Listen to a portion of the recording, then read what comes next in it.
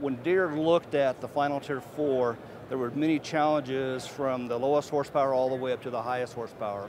It actually led us to three basic engine platforms that we offer today. It's going to be our EWX platform, which uses a simple technology of DOC, diesel oxidation catalyst, and diesel particulate filter. And then we also have what we call a PWL type platform, which is a diesel oxidation catalyst only type technologies without a filter.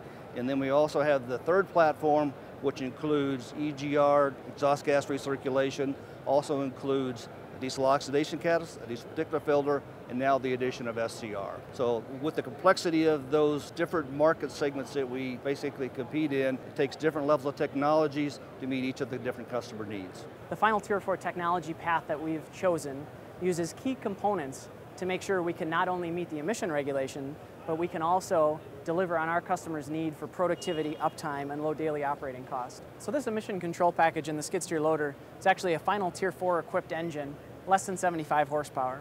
Unlike the engines greater than 175 horsepower, this engine does not require the use of diesel exhaust fluid. What it does require is the use of an after-treatment device. It's also a good example of an, a vehicle that has unique requirements compared to other vehicles.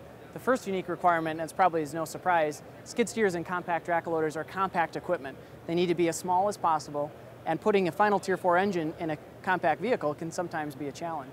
The other unique requirement is that skid steers and compact track loaders, and to a great extent other compact equipment, is very, uh, run very cyclically. So a customer will come in, they'll start the vehicle up, they may only run it for 10 minutes.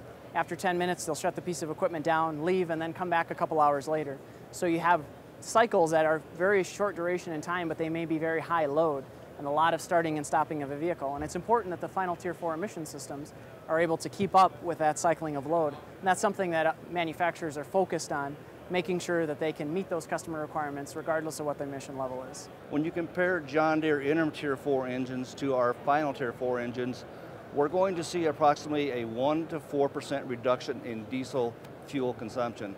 When you look at the other part of the fluid economy, then the diesel exhaust fluid piece, we're going to see some of the lowest DEF consumption rates in the industry, somewhere between 1 and 3%.